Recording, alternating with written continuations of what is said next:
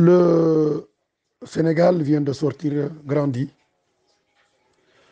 dans cette confrontation entre les institutions qui règlent euh, la vie de notre République. Le Conseil constitutionnel a pu échapper à la manipulation,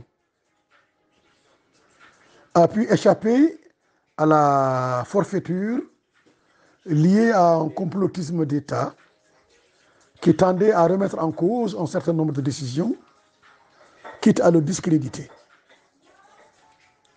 Aujourd'hui, pour ceux qui voulaient le faire, et tous ceux qui, toujours, criaient sur les toits que la justice sénégalaise est vendue, que la justice sénégalaise est moribonde, que ce sont les hommes du président. Je crois qu'aujourd'hui, la décision du Conseil constitutionnel a montré que plus jamais les institutions judiciaires du Sénégal sont libres, autonomes et en capacité de décider pour le bien de la nation. Aujourd'hui, c'est la victoire du Sénégal. C'est la belle image du Sénégal qui est retrouvée. La capacité de ses fils et de ses filles, dans le cadre de leur mission républicaine, de leur mission judiciaire, qui leur est conférée par la loi, ont décidé que le vote électoral, que le suffrage du peuple ne peut pas être manipulé.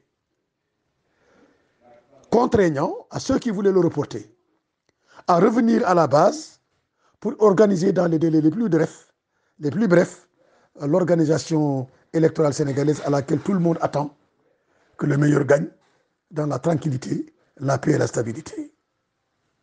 Merci au Conseil constitutionnel d'avoir pris cette décision qui redonne aux Sénégalais l'espoir, mais qui démentit ceux qui avaient toujours dit que les juges sénégalais étaient vendus, que les juges sénégalais étaient faux, que les juges sénégalais étaient à la botte du président de la République.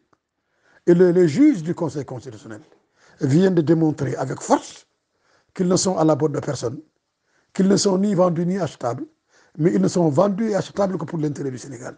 Et ils l'ont prouvé aujourd'hui.